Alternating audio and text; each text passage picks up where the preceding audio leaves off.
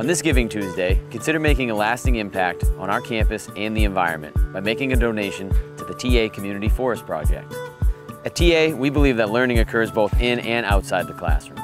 With your help, we can plant and care for trees that will provide shade, beauty, and inspiration for generations of students to come. Your generous donation will go directly toward the planting of native trees that will enhance our green spaces and foster environmental stewardship among our students.